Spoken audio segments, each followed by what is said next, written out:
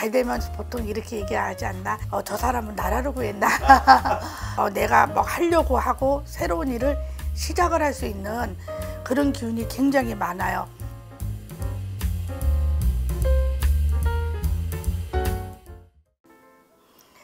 안녕하세요. 용산권 할매당입니다. 감사합니다.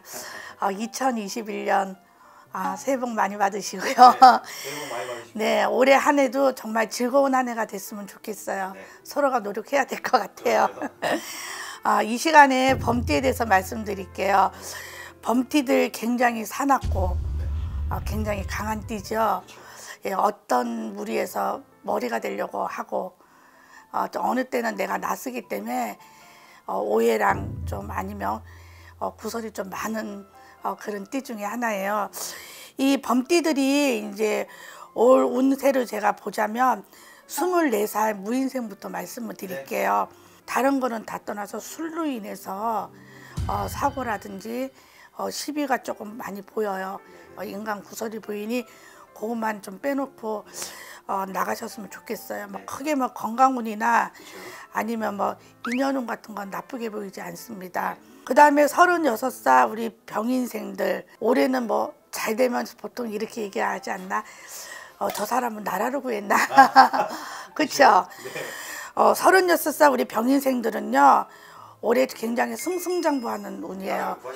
예, 나라를 구했나 할 정도로 어, 굉장히 좀 올해는 뭔가 추진이 있고 어, 내가 뭐 하려고 하고 새로운 일을 시작을 할 수 있는 그런 기운이 굉장히 많아요. 전반적으로 이게 개개인으로 제가 한 사람 한 사람 보는 게 아니지만 그렇죠. 전체적으로 제가 운을 봤을 때는 도전하는 게 굉장히 강하게 들어옵니다. 인연운도 좋아요. 어, 남자친구나 여자친구가 없으신 분들 좋은 인연도 들어오고요. 또 결혼운도 들어오고 어, 건강도 그렇게 뭐 나쁘다 어, 그렇지는 않습니다. 그래도 건강은 좀 주의하셔야죠. 어, 36살 우리 병인생들은 전반적으로 이렇게 나쁘게 나오지는 않습니다. 48살 우리 갑인생 어, 몇 년 동안 풍파가 좀 많았어요. 인간의 풍파, 가정으로 풍파. 어, 내가 결혼하고 잘 살고 있다 하더라도 한 2, 3년, 3, 4년 요 사이에 어, 이별수가 있고 가정이 좀 깨지고 어, 힘들었던 운인 것 같아요. 이 갑인생들이요, 어, 올해 같은 경우에는 내가, 내가 뭔가를 좀 이루어질 수 있는 힘이, 기운이 굉장히 좋습니다. 금전운이 좋다는 거예요. 어, 건강으로 보자면 이 생식기, 위, 간, 어, 뭐 소화기관 어, 이런 쪽으로 조금 많이 안 좋으니 그것만 빼놓고 나면은 어, 그다지 48살 갑인생들 어, 나쁘다는 소리는 안 나와요. 그리고 아, 3, 4년 동안 이렇게 가정이 깨지고 이별수가 있었고 어, 그랬던 분들도 어, 올해는 새로운 연인, 새로운 인연, 가슴이 좀 뛰는 한 해가 되지 않을까. 그렇죠. 60살이죠 이민생. 어, 이민생들이요 도안이면 뭡니다. 10월 달에 태어나신 분들요.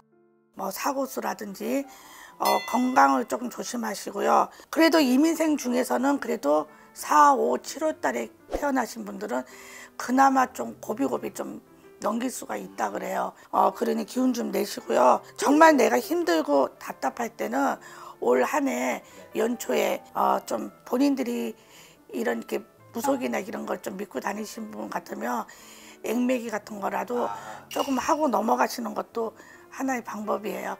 72살 경인생 가지신 분들, 이 범띠 가지신 분 중에서 72세 경인생 분이 최고 나요. 어, 베스트예요. 네.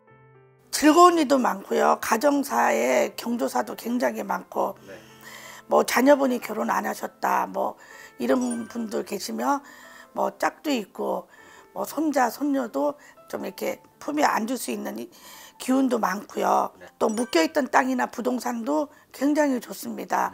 그러니까 본인한테 건강 문제는 이제 그 연세가 됐으면 좀 조심하셔야 되고 그 외의 거는 금전이나 내가 골치 아팠던 거를 좀 많이 해결할 수 있는 기운이 좋아요. 그래서 경인생 가지신 분들 올해는 그래도 어쨌든 어, 좋고 입가에 항상 이렇게 어, 웃을 수 있는 어, 그런 기운이 굉장히 좋습니다. 지금까지는 경인 경인생 어, 범띠에 대해서 말씀을 드렸어요. 어, 참고로 알아두시고 어, 항상 좋은 일만 있었으면 네, 좋겠습니다. 감사합니다. 고맙습니다.